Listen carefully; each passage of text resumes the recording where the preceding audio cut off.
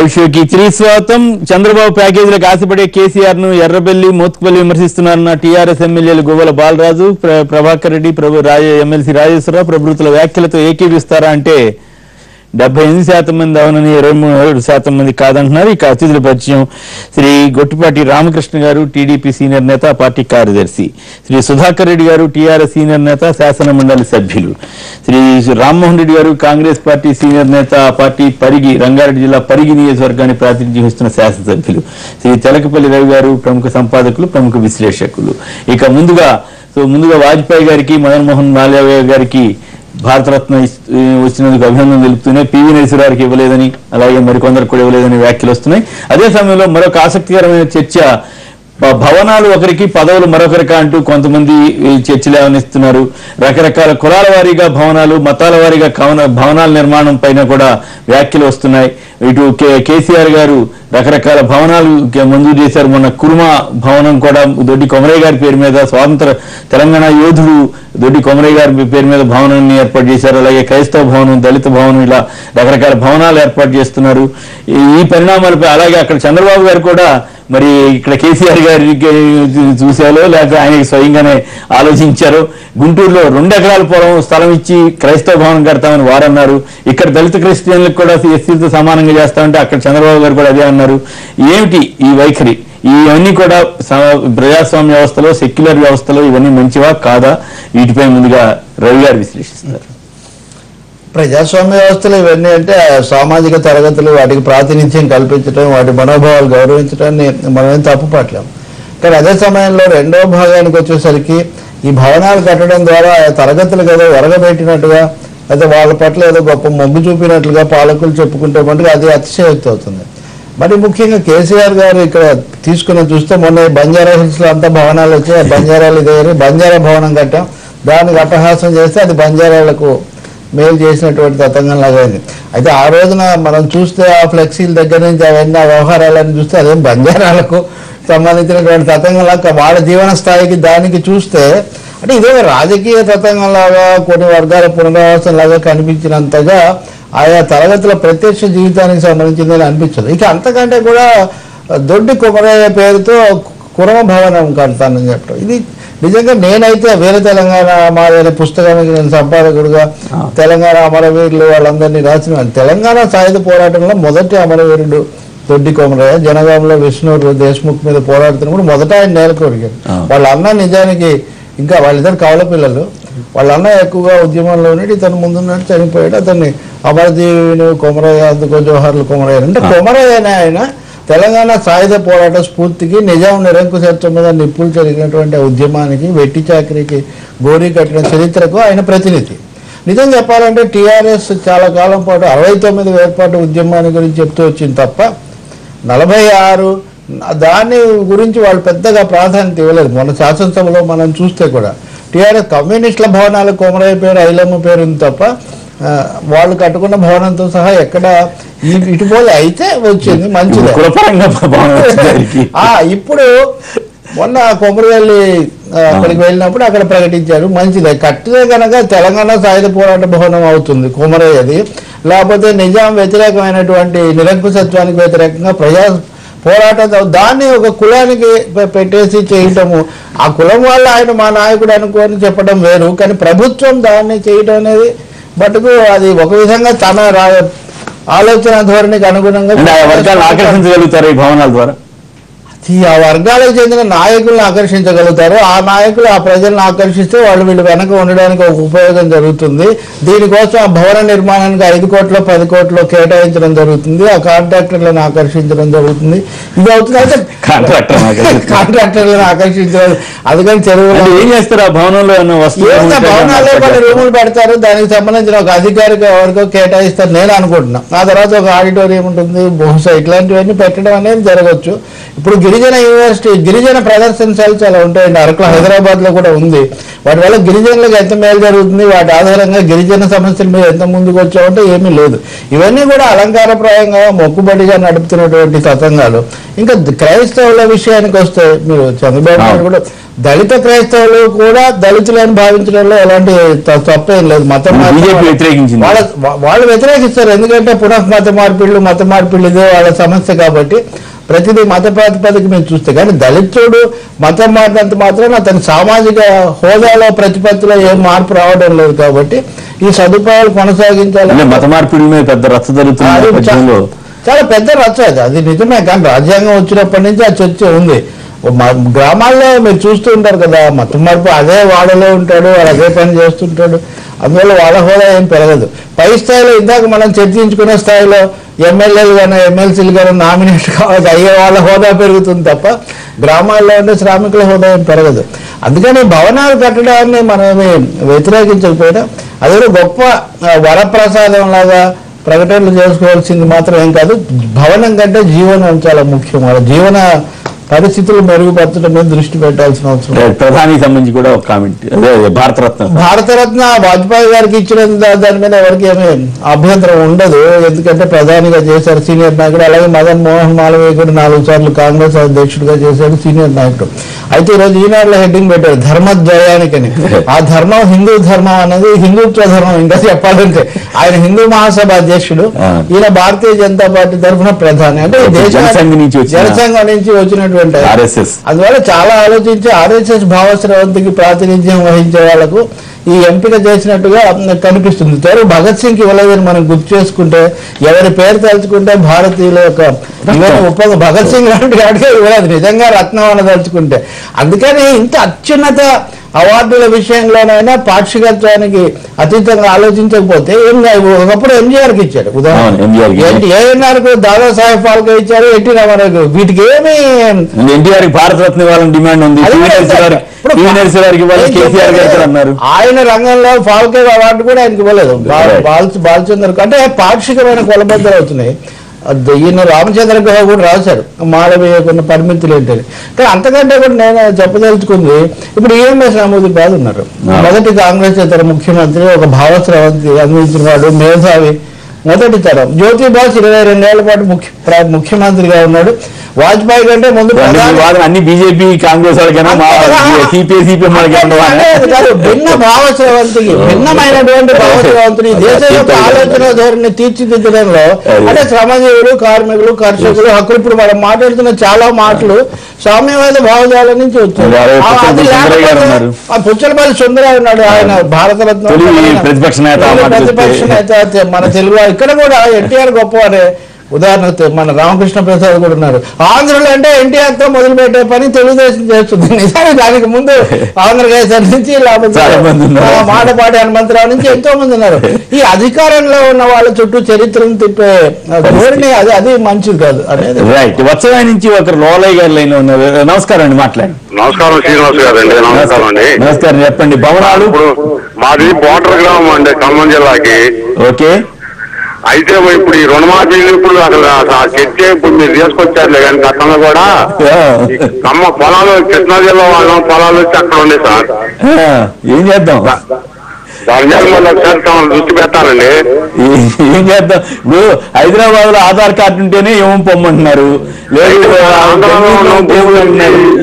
ఇప్పుడు ముంపు మండలాల పరిస్థితి ఏంటి? ఇవన్నీ ఉన్నాయి మరి వాళ్ళు. ఆ రుణమాఫీ హామీ ఇచ్చినప్పుడే మా ఓటాలను ఇటువంటి వాటిని నమ్మొద్దని చెబుతున్నాం. డాక్టర్ రుణాలు మాఫీ అన్నా ఇటువంటి అన్నా. మరి ఆ వాటి ప్రాతిపదికగా కాకుండా సమర్థత ఇతరత్ర ప్రాతిపదికను ఓట్లేయండి అన్నాం. కానీ ఇప్పుడు మేము మేమేం చెప్పాలి? ఇప్పుడు దీనికి చెప్పండి మీరు చెప్పండి. మీరైనా సమయం ఇప్పుడు సీఎం గారి దగ్గరికి వెళ్తారు కదా సార్ సమస్యలు పెట్టండి. అక్కడ ఆంధ్రాలో ఉండి భూములు అక్కడ ఉండాలి కానీ వర్తించాలి కదా ఎవరు వర్తింపు చేయాలి? Okay right okay. సరే ఈ- మీ ఇష్యూ వాళ్ళ దృష్టికి ఉంది.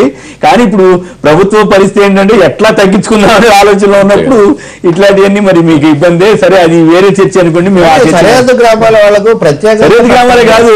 ఇప్పుడు హైదరాబాద్ నుంచి కొన్ని లక్షల మంది ఓట్లు వేస్తే మా సంగతి అడుగుతున్నారు. ప్రభుత్వాలు కూడా వాస్తవిక వైఖరి ఒకటి తీసుకోవాల్సినటువంటి అవసరం ఉంది. నిజమైన సమస్య ఉన్న దగ్గర పరిష్కారం వెతకాలి కదా. అవునండి నాలుగు సమస్య అంటే అసలు బ్యాంకు స్టేట్మెంట్ ప్రకారం లక్ష కోట్లు అంటున్నారు. ఇప్పుడు ఐదు వేల కోట్లు వచ్చేసరికి అందరూ సంతోషపడిపోతున్నారనే సంతృప్తి తెలుగుదేశం అని చెబుతున్నారు. అంటే వాళ్ళు మరి మనం ఒప్పుకోవాలా చెప్తున్నారు ఒప్పుకోవద్దా? దాని ప్రభావం తర్వాత ఉంటుంది. ఉంటదో ఉండదో నిజంగానే జనం నిజంగానే జనం సంతోషపడుతున్నారు. అని. ఇప్పుడు వచ్చిందే కట్నం అని ఎంతో కొంత అదే. అయితే నిజంగా ఆనంద నృత్యం చేస్తున్నారు అంటే అది అది చాలా ఇదో ఆనందం ఇచ్చి అంటే వస్తుంది. ప్ర- సమస్య రాకుండా పోదు. చాలా అంశాలు ఓకే, అయినా కూడా మనం చర్చ అయినప్పుడు కూడా మీ పబ్లిక్ ఇష్యూ కాబట్టి మీరు ఏమైనా చెప్తారు దాని మీద? దాని మీద మాట్లాడుతా ఉన్నారు సార్. అంటే ఇప్పుడు ఉన్నటువంటి సమస్య అది ఇప్పుడు ఇప్పుడు పరిష్కారం ఆయన అంటే యాక్చువల్లీ ఈయన పొలాలు తెలంగాణలో అవును. ఈయన ఆంధ్రాలో ఉన్నారు. తెలంగాణ పొలాలు ఆంధ్రాలో. వచ్చాయి కదా. సార్ ఆంధ్ర. పొలాలు తెలంగాణలో ఉన్నాయి? తెలంగాణ వాళ్ళు ఇవ్వట్లేదు అనే దాని గురించి అనుకుంటే హైదరాబాద్ ఆధార్ కార్డు. ఉన్నది ఇప్పుడు అది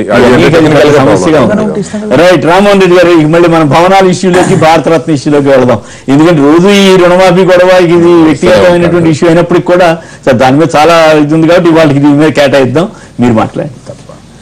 ముఖ్యంగా ముఖ్యమంత్రి కేసీఆర్ గారు చాలా సందర్భాలు చెప్పడం జరిగింది ఈ ఎస్సీ హాస్టల్స్ అని బీసీ హాస్టల్స్ అని ఇవన్నీ కూడా వివి- వివిధ కేటగిరీలలో కస్తూర్బా పాఠశాలలు అని ఎన్నో డిఫరెంట్ కేటగిరీస్లో స్కూల్స్ అన్నీ ఉన్నాయి.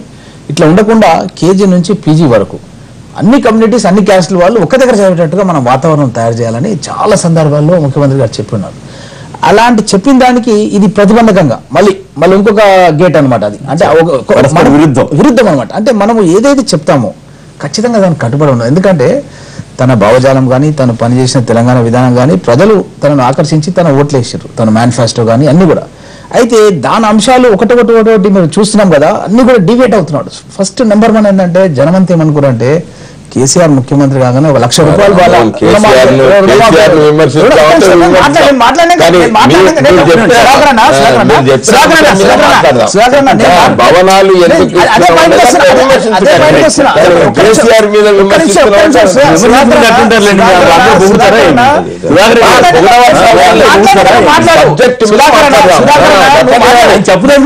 నువ్వు నువ్వు. చెప్పు. అయితే ఒక్కొక్క విషయం మనం గమనిస్తే రుణాల మాఫీ అందరూ ఏమనుకోరంటే ఈ యొక్క షార్ట్ టర్మ్ క్రాప్ లోన్సే కాదు లాంగ్ టర్మ్ లోన్స్ కూడా. అంటే బోర్లు కానీ మోటార్లు కానీ ట్రాక్టర్లు కానీ మేము ఇచ్చినాం అప్పుడు. మేనిఫెస్టో- చెప్పకుండా ఇచ్చినాం. జాతీయ వ్యాప్తంగా దేశ వ్యాప్తంగా ఇచ్చినాం అయితే ప్రజలందరూ కూడా ఏం కాను ఏమనుకున్నారంటే రాజశేఖర రెడ్డి గారు ముఖ్యమంత్రి అయితే ఎట్లయితే ఒక పెద్ద మీటింగ్ పెట్టి విద్యుత్ ఏదైతే బకాయిలు పడ్డారో బకాయిలు మాఫీ చేసి ఉచిత విద్యుత్ ఇస్తా అని చెప్పాడు సాచురేషన్ అన్నాడు వాళ్ళకు ఇంజనీరింగ్ ఫ్రీగా చేపిస్తా అని చెప్పాడు అన్ని కూడా ఆరోగ్యశ్రీ అన్నాడు అన్ని కూడా ఆయన ఏదైతే చెప్పిండో అవన్నీ కూడా చేసిండు. అంటే అందరు ప్రజలు ఏమనుకున్నారంటే కేసీఆర్ కూడా ముఖ్యమంత్రి అయితే అలాంటి మీటింగ్ పెడతాడు లక్ష రూపాయలు ఇమీడియట్లీ వాళ్ళకి లోన్ మాఫ్ అయిపోతుంది ఇక లక్ష రూపాయలు మళ్ళీ మనం లోన్ తీసుకోవచ్చు అనుకున్నారు. అక్కడికి వచ్చేదాకా ఏమైపోయిందంటే తెలుగులోనేమో లక్ష రూపాయల వరకు వ్యవసాయ రుణాల మాఫీ అని చెప్పి చెప్పడం జరిగింది. అసెంబ్లీలో ప్రస్తావించడం జరిగింది చూపించడం జరిగింది. ఇంగ్లీష్ లోనేమో క్రాప్ లోన్స్ అని చెప్పి రావడం జరిగింది. పోనీ క్రాప్ లోన్స్ అనుకుందాం. క్రాప్ లోన్స్ ఎంత అది only twenty five percent twenty five పర్సెంట్లో మళ్ళీ అది scale of finance interest penal అన్ని కలిపితే ఈ రెండు రాష్ట్రాల్లో మీ సమస్య ఉంది. ఇష్యూ అది కాదు కదా. అంటే అంటే తీసుకెళ్తున్నారు అంటే అంటే ఒక ఒక్కొక్క పాయింట్ చెప్తున్నాను. అంటే what I'm telling he should he should confirm to his subject what he has given promises before election చాలా మంది అభ్యుదయ భావాలు గల వాళ్ళు చాలా మంది ఏమనుకున్నారంటే ఒక మంచి దానిలో తీసుకెళ్తున్నాడు అందరినీ ఒక దగ్గర చదివించాలనుకుంటున్నాడు మంచి ఆశయాలు ఉన్నాయనే ఉదయం అనుకున్నారు. కానీ మళ్ళీ మళ్ళీ ఈ విధంగా భవనాలని చెప్పి ఇదని చెప్పి ఒకవేళ ముందే అట్లా చెప్తే కూడా పర్వాలేదు మనం భవనాలు కూడా కట్టిస్తామని చెప్పి చెప్తే పర్లేదు. కానీ ఒకటి చెప్పి మళ్ళీ ఇంకొక దానిలకు డిబేట్ కావడం అనేది మంచి పద్ధతి కాదు. భవనాలకు మేము వ్యతిరేకం కాదు. కాకపోతే ఏంటంటే ఫస్ట్ తను చెప్పిన విషయాలు చేస్తూ తర్వాత క్రమంలో ఇవి చేస్తే బాగుంటుంది అనేది నా ఉద్దేశం. అంటే కులాల వారీగా మతాల వారీగా భవనాలు ఇవ్వటం మంచిదేనా? అంటే first of all he should confine to his promises what he made before elections first అది చేయాలి. తర్వాత ఇంకేదైనా చేయొచ్చు ఇంకేదైనా ప్రయారిటీ ఉంటే వాళ్ళు అడిగితే డిమాండ్ ఉంటే చేయడమే తప్ప. కానీ దీని జోలికి వెళ్ళాలని మీకు కూడా కొంచెం ఇబ్బంది కదా. నేను కొంచెం సభ్యురాలి గారికి అంటే మాట్లాడినట్టు అంటే నేనేమంటానంటే. అంటే అవసరమైతే రిజర్వ్ కేటగిరీస్ వారికి ఇప్పుడు మనం ఢిల్లీలో ఏపీ భవన్ దగ్గర అంబేద్కర్ భవన్ అని పెట్టినాం. మేము ప్రాణహిత చెవెళ్ళ ప్రాజెక్ట్కు doctor BR Ambedkar Sujala Sravanthi project అని పేరు. అట్లాంటి జనరల్ దాంట్లో తీసుకొచ్చేద్దాం మనం. రిజర్వ్ కేటగిరీ వాళ్ళు జనరల్ కేటగిరీ తీసుకొచ్చి will pray big about them but we should not confine to that level Bharat Ratna వీళ్ళిద్దరికి ఇవ్వటం మీద తప్పకుండా భారతరత్న వాళ్ళకి ఇవ్వడంతో పాటు ఇంతకుముందు పెద్దలు చెప్పినట్టుగా భగత్ సింగ్ గారికి ఇవ్వాలి పివి నరసింహారావు గారికి ఇవ్వాలి. ఎందుకంటే దేశం ఈరోజు ఆర్థిక సల్లిక విధానాలు వచ్చి మన్మోహన్ సింగ్ గారిని తను గుర్తుపట్టి తనను ఒక ఫైనాన్స్ మినిస్టర్ పెట్టి తనను మళ్ళీ ప్రైమ్ మినిస్టర్ అయ్యే స్థాయికి పివి నరసింహారావు గారే గుర్తించారు. అతనే ఈ రోజు మన దేశానికి వెన్నెముక అనుకోవచ్చు. ఈ రోజు మనం సాఫ్ట్వేర్ రంగం చూస్తున్నాం. హైటెక్ సిటీ కానీ డెవలప్మెంట్ కానీ హైదరాబాద్ డెవలప్మెంట్ ఈ రోజు మెయిన్ థింగ్ మన సాఫ్ట్వేర్ డెవలప్మెంటే. ఈ పాత ఫ్యాక్టరీలన్నీ కూడా హెచ్ఎంటీ కానీ ఇవన్నీ కూడా బంద్ అయిపోయినాయి. ఐడిపిఎల్ కానీ ఓల్డ్ ఫ్యాక్టరీస్ అని బంద్ అయిపోయినాయి. ఈరోజు మెయిన్ మనకు మొత్తం ఎంటైర్ కంట్రీ మన ఈ రోజు గ్లోబలైజేషన్ పోవడానికి కారణం మన. పివి నరసింహారావు గారు. మన తెలంగాణ ముద్దుబిడ్డ. కాబట్టి ఖచ్చితంగా తనకు కూడా భారతరత్న ఇవ్వాలని చెప్పి కోరుతున్నాం. రైట్ సుధాకర్ రెడ్డి గారు మీరేం చెప్తారు? ఈ భవనాల కాన్సెప్ట్ ఏంటి అసలు? అంటే ఆయా వర్గాలను ఆకట్టుకోవడమా? లేక కొమ్మినేని గారు ఇక్కడ రెండు అంశాలు. ఒకటి భవనాలు రెండోది భారతరత్న. ఫస్ట్ భవనాల గురించి. పెద్దలు మా రవి గారు చెప్పినట్టుగా కుల ప్రాతిపదిక లేకుండా అందరికీ సమాన అవకాశాలు ఇవ్వాలనేది మా లక్ష్యం. ఎందుకొరకంటే వారి వారి కులానికి సంబంధించినటువంటి ఒక సమాచారం. మొన్న ఆదిలాబాద్కు వెళ్ళినప్పుడు అక్కడ ఆదివాసీలందరూ కూడా మా దొడ్డి కొమరే దాని మీద ఏదైనా ఉండాలనేటువంటిది ఇక్కడ వరంగల్లో కొమరం భీం. అక్కడ కొమరం భీం గురించి అడిగారు కొమరం భీం గురించి అడిగినట్టయితే తప్పకుండా పద్నాలుగు సంవత్సరాలు కేసీఆర్ ఒకటే మాట చెప్తూ వచ్చాను వారి సమావేశాలలో కూడా మనకు కూడా ఒక భవనం ఉంటది. హైదరాబాద్లో మనం కూడా తల ఎత్తుకొని తిరిగేటట్టుగా ఉండేటువంటి ఒక అవకాశం కల్పిస్తాము. అటువంటి చక్కని భవనాల రూపకల్పన చేస్తాం అనేటువంటి ఒక మాట చెప్పాం మాట చెప్పిన దానికి కట్టుబడి ఉండేటువంటి రీతిగా వారిని కూడా సమాన స్థాయికి తీసుకొచ్చాలనేటువంటి ఒక సంకల్పంతో ఇవాళ ఆదివాసీల గుర్తింపు, ఆదివాసులకు ఒక భవనం అదే విధంగా బంజారా హిల్స్ అంటే బంజారాకు సంబంధించినటువంటిది ఉండాలి తప్ప ఎందుకంటే ఇటు అసెంబ్లీలో గాని కౌన్సిల్లో గాని పలు పర్యాయాలు బంజారాలకు సంబంధించినటువంటి వాళ్ళు ప్రస్తావిస్తూ వచ్చారు ఆ వచ్చిన కులాల వారిగా ఇట్లా అన్ని కులాలకి భవనాలు కట్టేస్తే ఎవరైతే అడుగుతుండ్రో దానికి అనుగుణంగానే ఉంటుంది తప్ప రానియండి రాని ఎవరు అడిగినా గానీ దానికి ఉన్నటువంటి ఒక పరిమితికి లోబడి మాత్రం ఇస్తారు తప్ప ఇష్టం వచ్చినట్టుగా ఇచ్చేటువంటి అవకాశం ఉండదు. ఇవాళ వాళ్ళది ఎందుకంటే బంజారా హిల్స్ అనేటువంటిది బంజారాకు సంబంధించినటువంటి వాళ్ళది కాబట్టి వాళ్ళు ఎన్నో ఏళ్ళ నుంచి నివాసం ఉంటూ వచ్చారు కాబట్టి ఆ ప్రాంతానికి సంబంధించి మాది కూడా గుర్తింపు ఉండాలి. అనేటువంటి ఉద్దేశంతో వారికి ఇవ్వడం. అదే దొడ్డి కొమరయ్య విషయంలో మరి రవి గారు చెప్పారు ఎందుకంటే వారు మొదటి నుంచి కూడా కేవలం ఆ రోజు తెలంగాణ సాయుధ పోరాటంలో పార్టిసిపేట్ చేసినటువంటి వ్యక్తి అసలు ముఖ్యంగా పోరాటం చేసినటువంటి వారు వారి అన్న. దానికి ఎదురెడ్డి ఈయనే ప్రాణాలు అర్పించింది కాబట్టి అందుకొరకే దొడ్డి కొమరయ్య వచ్చిండు. వారి పేరు మీదనే కానీ ఆయన ఆయన చివరికి ఆయన్ని తెలంగాణ కూడా కాకుండా కులానికి పరిమితం చేశారు కదా. కురుమ భవనాన్ని. ఆయన అంత ప్రాణాలు అర్పించింది కురుముల కోసమో లేకపోతే ఒకరి కోసం కాదు. కదా. కురుమల పోరాటానికి మొన్న కొమరవెల్లిలో జరిగినటువంటి సమావేశాల్లో ఎక్కువగా కొమరవెల్లి కళ్యాణోత్సవంలో తప్పకుండా ఎక్కువ కురుమ గొల్ల వాళ్ళు పార్టిసిపేట్ చేస్తారు. ఆ సందర్భంగా వారి యొక్క సంఘపరంగా. సార్ మాకు హైదరాబాద్లో ఒక స్థలం కావాలి మాకు భవనం కావాలి. దానికి కుమరం పెట్టాలనేటువంటి. ఆ, విధంగా అడిగింది కాబట్టి ఆ ప్రస్తావన వచ్చి దానికి అనుగుణంగా భవనాలు కడుతున్నారు గౌరవం గుర్తింపు బా- పల్లె కన్నీరు పెడుతుందో కనిపించని కుట్రలని పల్లెల్లో చేతి వృత్తులన్నీ అణగారిపోతున్నాయి. ఆ వృత్తి చదువుకున్న వాళ్ళు సరే ఆ వృత్తుల మీద ఆధారపడిన వాళ్ళు చితికిపోతున్నారు.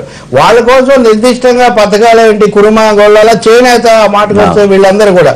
టెక్స్టైల్ పార్క్ అంటారు. అంటే దీనికి దీనికి ఏమో పొంతన ఉంటున్న విధానాలకు వచ్చేసరికి. భవనాలు విధానాలు మార్చకుండా భవనాలు అంటే ప్రాధాన్యత క్రమం కూడా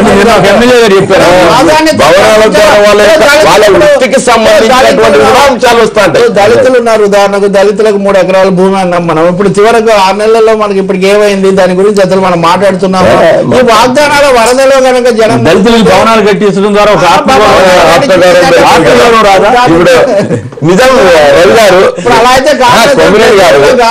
కౌన్సిల్లో చూసినాము గాంధీ కౌన్సిల్లో పలు పర్యాయాలు ఎస్టీలకు సంబంధించిన వాళ్ళందరూ కూడా మా గౌరవం ఉండాలంటే మా గుర్తింపు ఉండాలంటే మాకు హైదరాబాద్లో ఒక భవనం ఉండాలనేటువంటి ఒక ప్రస్తావన వస్తూ వచ్చింది correct. ఎన్నో పర్యాలు ఇటు కాంగ్రెస్ ప్రభుత్వం కానీ తెలుగుదేశం ప్రభుత్వం కానీ వారు కూడా అటువంటి వాగ్దానాలు ఇస్తూ వచ్చారు. దానికి అనుగుణంగా ఇప్పుడు ఒక గుర్తింపు వచ్చి దానికి అనుగుణంగా భవనాలు ఏర్పాటు చేస్తున్నాం. కాబట్టి భవనాలలో కాంట్రవర్షియల్ ఏం లేదు. దానికి అనుగుణంగానే ఇవాళ వారు అన్నట్టుగా చంద్రరాజేశ్వరరావు గారికి ఇచ్చినాం రావినారాయణ రెడ్డి గారికి ఇచ్చినాం ఆ విధంగా ఉన్నాయి. గతం ప్రభుత్వాలు. ఎవరిచ్చినా కానీ. రాజేశ్వరి స్థలాలు ఇచ్చారు. స్థలాలు ఇచ్చారు. వారు భవనాలు నిర్మాణం చేసుకున్నారు. భవ- భవనాలు నిర్మాణం చేసుకున్నారు. ఇవాళ ఎంత కార్పొరేట్ స్థాయిలో ఉండేటువంటి భవనం వచ్చింది. కాబట్టి అదే అక్కడ.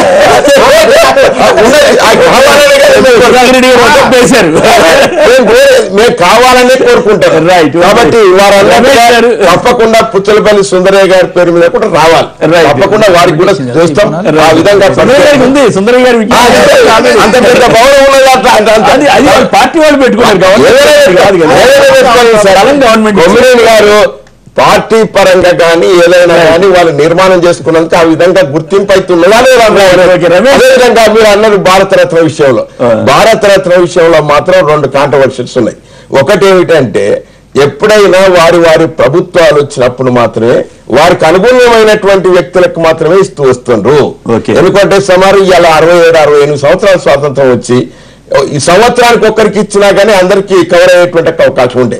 కానీ వారు వారు ప్రధానమంత్రులు అయిన తర్వాత వారి వాళ్ళని గుర్తించడానికి ఎవరో ఒక రకం ఇవ్వాలనేటువంటి ఒక ధోరణి అయితే సరైనది కాదు తప్పనిసరిగా ఎవరైతే భగత్ సింగ్ ఇవ్వవలసినటువంటి ఈ రకంగా ఎంతో మంది మహనీయులు ఉన్నారు వామపక్ష భావాలు కావచ్చు ఇటు బీజేపీకి సంబంధించిన వాళ్ళు కావచ్చు ఎవరైనా కానివ్వండి వారు మన దేశం కొరకు పోరాటం చేసినటువంటి ఒక పోరాట యోధులను మాత్రం. మర్చిపోకుండా వారికి తప్పకుండా ఇవ్వాలి మా తెలంగాణ ప్రాంతం నుంచి వచ్చినటువంటి వారికి మాత్రం ఇవాళ పివి నరసింహారావు గారు కాంగ్రెస్ పూర్తిగా క్షీణదశలో ఉన్నప్పుడు కూడా దాన్ని తీసుకొచ్చి ప్రధానమంత్రి కోసం కాదు కదా దేశం కోసం చేసిన. కాంగ్రెస్ పార్టీ స్థాయిలో ఉండి అదే. కాంగ్రెస్ ముఖ్య ప్రధానమంత్రులు అయ్యలేదు వాళ్ళు. కాంగ్రెస్ అంటే సోనియా అని అంటున్నారు పివి కూడా. ఎందుకంటే వాళ్ళు పేరుతోటే వస్తుంది కాబట్టి అట్లా కాకుండా రమేష్ గారు హైదరాబాద్ నుంచి లైన్లో ఉన్నారు. రమేష్ గారు నమస్కారం మాట్లాడండి. నమస్కారం సార్. అలా ఉన్న పెద్దలందరికీ నమస్కారం సార్. నమస్కారం మాట్లాడండి. సార్. సార్. మాట్లాడండి. ఏం లేదు కొంచెం దయచేసి ఒక చిన్న మాట సార్. నన్ను ఏ పార్టీతో జమ కట్టకండి ఫస్ట్ పాయింట్. కాంగ్రెస్కు. ఆపోజిట్ మాట్లాడితే నువ్వు తెలుగుదేశం అంటావు. తెలుగుదేశం. బీజేపీ అంటావు. అదే పద్ధతిగా మాట్లాడండి ఏదైనా సరే నేను పద్ధతిగా సార్ ఒకటి. మాట్లాడండి. మాట్లాడండి. అయితే సార్ నేను మాకు నేను అతి సామాన్యులం సార్. మాకు ఈ భవనాలు వద్దు. ఈ భవనం డబ్బులతోని ఒక పది పేదలకు ఇల్లు కట్టియండి సార్. ఒక రెండు ఎకరాల పొలం కొనియండి సార్. నన్ను నాకు కూడు గుడ్డ వైద్యము చదువు ఈ మూడు ఇచ్చేయండి చాలు నాకు. ఈ భవనం నాకు పైసా పర్లేదు నాకు. ఓకే. విన్నారా సార్? ఇలాంటి పది భవనాలు కట్టుకుంటాను ఇలాంటి పది భవనాలు కట్టుకుంటా నేను. చెప్పనండి. అదే చెప్పండి అతి సామాన్యులం మేము. మాకు అన్ని ఫ్రీ ఫ్రీ ఫ్రీ ఫ్రీ అని ఇచ్చి అలవాటు చేపిస్తారు మాకు. ఈ ఫినాయిల్ ఫ్రీగా వస్తే ఫినాయిల్ కూడా తాగుతాం ఇక. మాకు అట్లా అలవాటు చేపించారు మరి ఇక. మాకు అలా ఫినాయిల్. ఇచ్చినా. నేను. ఓకే ధన్యవాదాలు. కిరణ్ గారు మరొకరి లైన్లో ఉన్నారు. కిరణ్ గారు నమస్కారం మాట్లాడండి. సార్ నమస్తే సార్. నమస్తే మాట్లాడండి. ఇప్పుడు ఈ భవన్లు కట్టడం వల్ల కాంగ్రెస్కి బీజేపీ ఏమైనా నష్టం ఉందని వాళ్ళ ఓట్ బ్యాంక్ ఏమైనా ఓటుందని భయపడుతూనే ఉంది నాకు అర్థం కావట్లేదు అది. బంజారా హిల్స్లో బంజారాలదే బంజారా హిల్స్. వాళ్ళ హిల్స్లో వాళ్ళకి భవనం లేదు అరవై ఏళ్ళ నుంచి. అసలు ఈ ఏ అసలు వాళ్ళ ఆ వర్గాల్ని అసలు అంటే కంప్లీట్గా మనం క్లోజ్ చేద్దామనే మీ కాంగ్రెస్ పార్టీ ఉద్దేశం నాకు అర్థం కావట్లేదు. వాళ్ళ కాంగ్రెస్ మాత్రం బిల్డింగ్లు అంతస్తుల మీద అంతస్తు కట్టుకొని కూర్చున్నారు వాళ్ళ బంజారా హిల్స్లో అన్ని పార్టీలు కాంగ్రెస్ తెలుగుదేశం రైట్ ఓకే ఇంకా కాంగ్రెస్ పార్టీ గాంధీ భవన్ లేదు. టిఆర్ఎస్ ఉంది ఈడ. గాంధీ భవన్ వేరే ట్రస్ట్ వాళ్ళది అదే. ఇంకా అక్కడ మేము ఇక్కడ లేము. టీడీపీ కానీ ఇక్కడ. మీకు అలాగే మిత్రులకి పెద్దలకి మీ టీవీ ప్రేక్షకులందరూ కృష్ణ శుభాకాంక్షలు కుమినేని గారు. ఈరోజు అసలు రాజకీయ నిర్ణయాలు విశేష విచక్షణ అధికారంతో కూడుకున్నటువంటివి. వీటిల్లో ఇది స్పష్టంగా వాదనకి వెళ్తే ప్రతిదీ వాదనే అంటే చేయొచ్చా చేయకూడదా అనేది. ఈ విచక్షణ అధికారాన్ని సక్రమంగా వినియోగిస్తున్నారా లేదా అనేది ప్రధానమైన అంశం. ఈరోజు భవనాలు నిర్మించినా లేదంటే ఇంకొక కార్యక్రమాలు చేపట్టినా లేదా ఇంకొక పేర్లు పెట్టినా వీటన్నిటికీ కూడా వాళ్ళ యొక్క విచక్షణాధికారాన్ని దేనికోసం ఉపయోగిస్తా ఉన్నారు? తమ యొక్క స్వలాభం కోసమా? లేదంటే అది నిజంగా నిజాయితీగా గుర్తింపు ఇవ్వటం కోసమా? లేదంటే గుర్తింపు లేదు అని భావించేటువంటి వర్గాలలో ఏదైనా చైతన్యాన్ని లేదంటే వారికి కూడా మనోధైర్యాన్ని కలిగించడం కోసం అనేటువంటి అంశాన్ని మనం ప్రధానంగా ఇక్కడ చూడాల్సినటువంటిది. ఈ రోజు సో ఆ- విధంగా వీరు గనక ఆ కోణాల్లో గనక నిర్ణయాలు తీసుకున్నట్టయితే వాటిని విమర్శించాల్సినటువంటి అవసరాలు లేవు. కానీ అదే సంకుచితమైనటువంటి ధోరణిలో ప్రజలను కూడా ఆ విధంగానే మనం కొన్ని స- వర్గాలుగా విడగొట్టడం కోసం ప్రయత్నం చేస్తా ఉన్నామా అనేటువంటి దాన్ని కూడా ప్రత్యేకంగా గమనంలోకి తీసుకోవాల్సిన పరిగణలోకి తీసుకోవాల్సిన అవసరం ఉంటుంది కుమ్మినేని గారు దీనిలో. ఈ విధంగా. అంటే దానికోసం అని చెప్పి అందుకని చెప్పని ఒక దగ్గర భవనం కట్టించగానే వాళ్ళందరూ ఓన్ చేసుకుంటారని కానీ లేదు వాళ్ళకి ఇవ్వగానే అని కాకుండా కాకుండా వాళ్ళ పరిపాలనలో చేసేటువంటి విధానాల వల్ల వాళ్ళు వాళ్ళ యొక్క ప్రభుత్వాన్ని గత ప్రభుత్వాలేమో ఓవరాల్గా విధానాలపైన ఎక్కువగా దృష్టి పెడితే ఇటీవల కాలంలో వస్తున్న గత కొద్ది దశ- దశాబ్దాల నుండి అట్లా ఈ ప్ర- ప్రభుత్వాలన్నీ కులాల పరంగానో లేకపోతే ఇట్లా వెళ్తున్నాయా?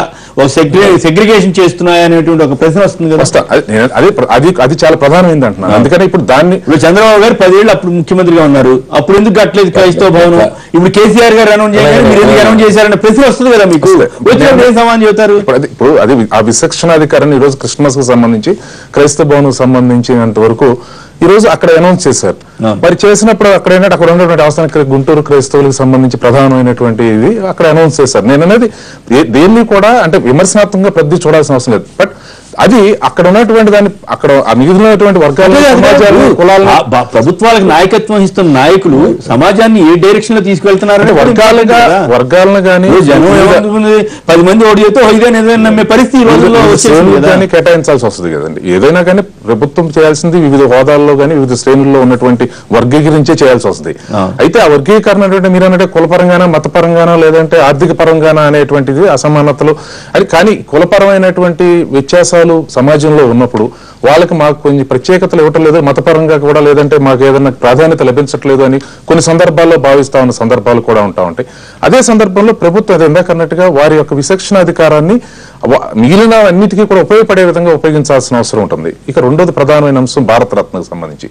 సరే వారికి భారతరత్న ఇచ్చిన దాని గురించి ఏవి- పెద్ద విమర్శలు లేకపోయినా స్పష్టంగా ఈరోజు ఎన్టీ రామారావు గారికి భారతరత్న ఇవ్వాల్సినటువంటి అవసరం ఉంది. ఈ రోజు ఎందుకంటే గత నలభై యాభై సంవత్సరాల నుంచి చరిత్ర తీసుకుంటే యాభై సుమారు యాభై సంవత్సరాల నుంచి యాభై సంవత్సరాల నుంచి ఈ రాష్ట్రం మీద కానివ్వండి దేశంలో కానివ్వండి రాజకీయ పరమైన అంశాలు కానివ్వండి సినిమాకి రంగానికి సంబంధించినటువంటి కళారంగానికి సంబంధించిన వివిధ అంశాల్లో ఆయన మరి విజయం సాధించినటువంటి తీరు కానీ ప్రజలను నడిపించినటువంటి వివిధ రాజకీయ పక్షాలను నడిపించినటువంటి తీరు కానీ ఇవన్నీ కూడా స్పష్టమైనటువంటిది. ఈ గత ఇప్పుడు ఇప్పటికి ఇప్పుడు జరిగినటువంటిది. ఇక మరి కేసీఆర్ గారు ఇచ్చారు ప్రకటన. పివి నరసింహరావు గారికి ఇవ్వాలని చెప్పి. అది చంద్రబాబు గారు కూడా పివి నరసింహరావు గారికి ఇవ్వాలని చెప్పి చెప్తా ఉన్నాం. అదే సందర్భంలో కాంగ్రెస్ వారు కూడా అంటున్నారు ఇచ్చుంటే బాగుండేదని. అయితే వాళ్ళు అనే ముందు వారికి అడిగేదానికి ఉందా లేదా అనేది చూసుకోవాల్సింది. వారు కనీసం వారి పార్థివ దేహాన్ని కనీసం అంత్యక్రియలు చేసేటువంటి అంతిమ దశలో వారిని అదే అక్కడ తీసుకు తీసుకెళ్ళినటువంటి పరిస్థితులను కూడా ఆఫీసులో. వేసి, కనీసం వారు తీసుకెళ్ళినటువంటిది ఈ రోజు అంటే ఇందాక నేను కేవలం రాజకీయం కోసం ఏదో మాట్లాడేది కాకుండా.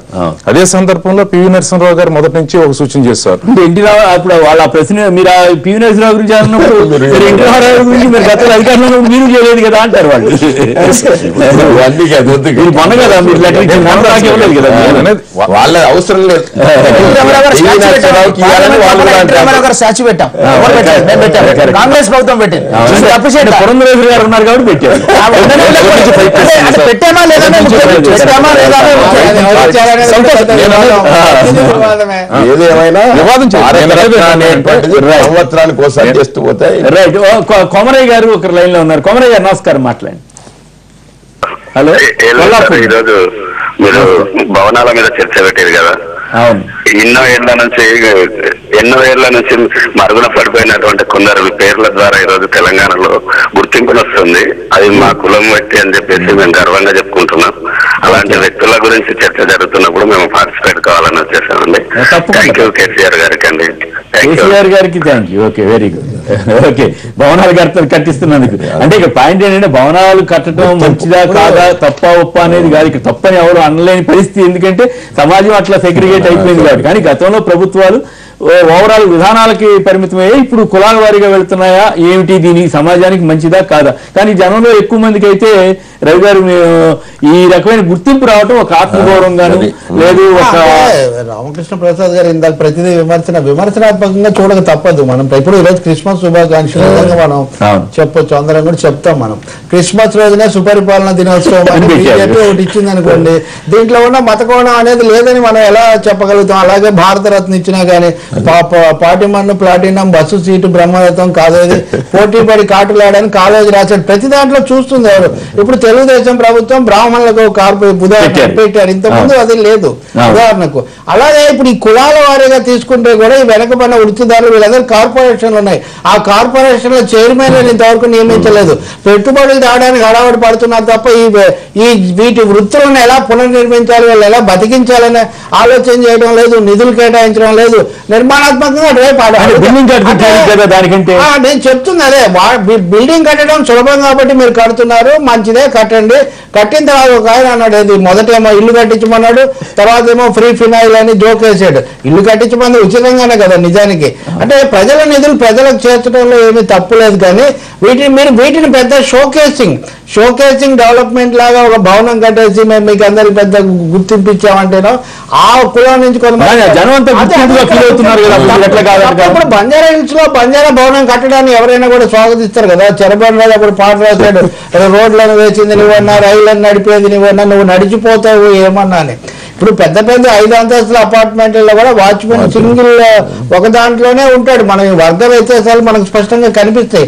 కాబట్టి. సమస్య ఉంటుంది. అది కూడా భవనానికి జీవన జీవన విధానాన్ని మెరుగుపరచడం చాలా ముఖ్యం. దీన్ని మీరు చాలా గొప్పగా అతిగా చెప్పుకోవాల్సినటువంటి అవసరం లేదు. అతిశక్తిగా మూడోది నేను చెప్పిన రాజకీయ కోణం దొడ్డి కొమరయ్య ఆయన తెలంగాణ సాయుధ పోరాట స్ఫూర్తికి నిజాం నిరంకుశత్వం మీద పోరాటానికి ఆయన ప్రతినిధి. ఆయనను వాళ్ళు మా వాడు అనుకోవడంలో తప్పలేదు కానీ మీరు ఆయన దానికే పరిమితం చేయడంలో మరి ఖచ్చితమైన రాజకీయం ఉంది. నిజాం పట్ల మీరు కేసీఆర్ గారు తెలియదని చేస్తున్నట్టు ఇది ముగియదు. శాఖలు ఉపశాఖలు చాలా మాకు మాకు అనేది అంటే ఆటగా అడిగిన వాళ్ళందరికీ ఇస్తారు అందరికీ రెండు ఎకరాలు కాకపోతే కులాల వారీగా ఏ కులానికి ఆ కులం భవనాలు కట్టించుకున్నాం ఇప్పుడు ప్రభుత్వం సాయుధ పోరాటానికి గుర్తింపుగా ఏదైనా చేస్తే బాగుంటుంది. ఆల్రెడీ ఉన్నాయి కదా. సార్ చంద్రరాజు గారు ఉంది. చంద్రరాజు గారి ఫౌండేషన్ ఇచ్చారు కొమ్మినేని గారు ఇక్కడ ఒక మాట శ్రీశ్రీ శత జయంతి అయినా ఇప్పుడు గురజాడ శతవర్ధంతి అయినా. ప్రభుత్వాలు అధికారికంగా జరపాలి. ఇప్పటి వరకు ప్రభుత్వాలు తెలంగాణ సాయుధ పోరాటాన్ని అధికారికంగా. రైట్ వాసు గారు గుంటూరు నుంచి ఒక లైన్లో ఉన్నారు. వాసు గారు నమస్కారం మాట్లాడండి. వాసు గారు. హలో? రైట్ చంద్రబాబు ప్యాకేజీలకు ఆశపడే కేసీఆర్ని ఎర్రబెల్లి మోత్కుపల్లి విమర్శిస్తున్నారన్న టీఆర్ఎస్ నేతల వ్యాఖ్యలతో ఏకీవిస్తారా అంటే యాభై ఎనిమిది శాతం మంది అవునని నలభై రెండు శాతం మంది కాదన్నారు. ఇప్పుడు వచ్చిన విరామం తర్వాత లైవ్ షో కొనసాగుతుంది.